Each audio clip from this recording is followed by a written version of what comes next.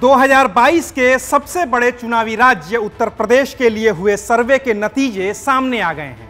ABP news C voter के survey के मुताबिक 2022 में एक बार फिर से बीजेपी सत्ता में वापसी कर सकती है, लेकिन उसे कुछ सीटों का नुकसान उठाना पड़ सकता है।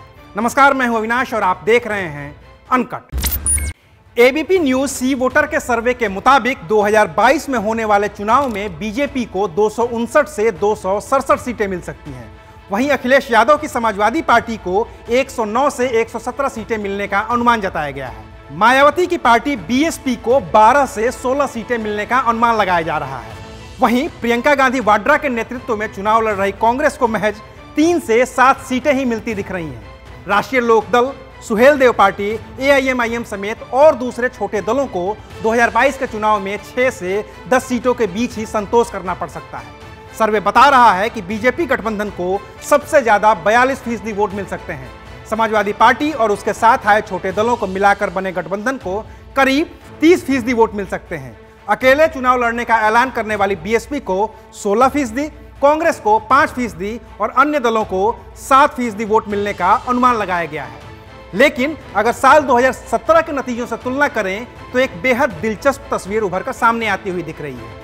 उत्तर प्रदेश की कुल 403 विधानसभा सीटों में से बीजेपी ने 312 सीटों पर उस वक्त जीत दर्ज की थी। तब उस वक्त यूपी में मुख्यमंत्री का कोई चेहरा नहीं था, लेकिन इस बार सीएम योगी के चेहरे पर सर्वे में सरकार बनाने वाली बीजेपी को करीब करीब 45 सीटों का नुकसान होता दिख रहा है। वहीं 2017 में महज सैंतालीस सीटों पर जीतने वाली सपा को इस बार साठ पैंसठ सीटों का फ़ायदा होता हुआ नज़र आ रहा है। वहीं 32 साल से सत्ता में वापसी की कोशिश कर रही कांग्रेस के लिए अब भी इंतज़ार ही दिख रहा है। रही बात मायावती की तो उन्होंने तो साफ़ कर दिया है कि उनकी पार्टी बीएसपी अकेले ही चुनावी मैदान में उतरेगी और अकेले चुनावी मैदान में उतरने का खामियाजा अभी से सर्वे में दिखने लगा है। वहीं पश्चिमी यूपी में चौधरी अजीत सिंह के निधन के बाद उनकी पार्टी रालोद की कमान जयंत चौधरी के हाथ में है। उन पर भी प्रदर्शन का दबाव है, लेकिन किसान आंदोलन को समर्थन करने के बाद भी रालोद को बड़ा फ़ायदा होता हुआ नज़र नहीं आ रहा है। बाकी तो ये आपको बताने की ज़रूरत नहीं है, ये सिर्फ़ ओपिनियन पोल है और वो भी चुनाव से करीब पाँच महीने पहले का। असली चुनाव अब भी दूर हैं और इन पाँच महीनों के दौरान उत्तर प्रदेश की सियासत में कई बड़े उलटफेर देखने को मिल सकते हैं।